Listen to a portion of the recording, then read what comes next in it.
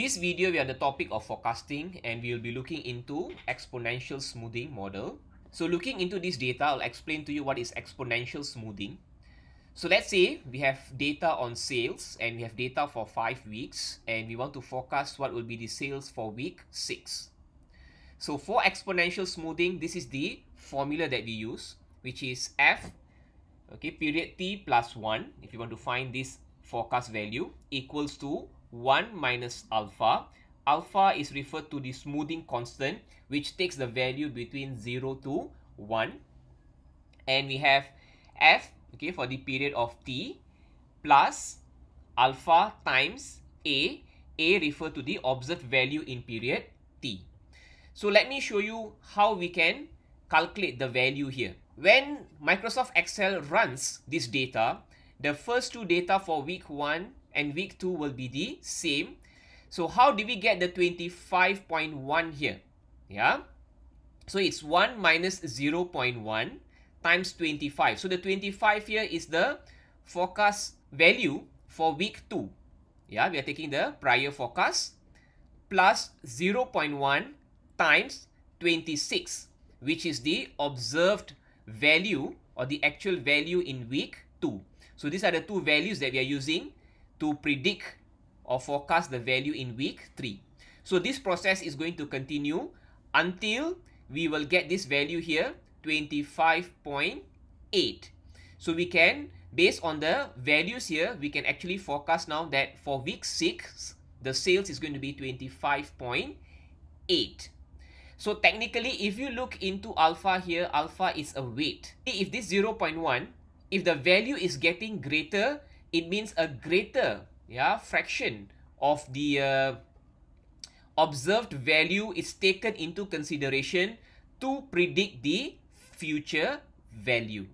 Next, I'll be showing you how to run exponential smoothing using Microsoft Excel. So using this hypothetical data, we have selected 0.1 as our alpha, which is our smoothing constant here.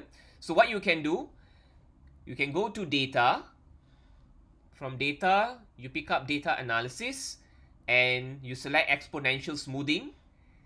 Click OK. Now we need to select our data. You select your entire data range here. So we want to predict yeah, for week 8. Now they have here damping factor. Now what do you mean by damping factor here? as we our alpha is 0.1 we won't key in there 0.1 it will be 1 minus 0.1 yeah therefore it will be 0.9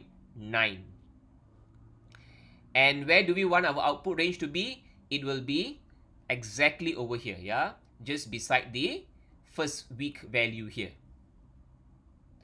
And then we click ok.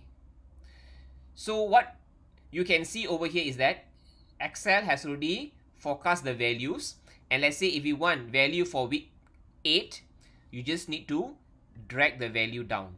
Yeah so it will be 26.36 now let's say if we want the alpha to be 0.3 we can do that. Go back to your data analysis. Go back to your exponential smoothing.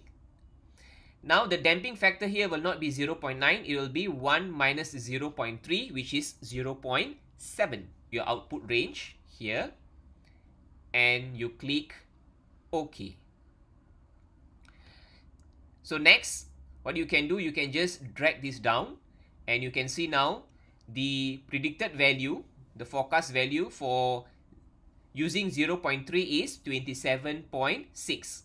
So can you see both these values are different if we are assigning different weights. So again, which value shall we use? What we have to do, we have to check on the residuals.